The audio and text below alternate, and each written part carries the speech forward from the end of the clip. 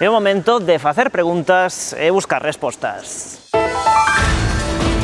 É o momento de falar, de debater, de analizar os feitos e de coñecer todos os puntos de vista.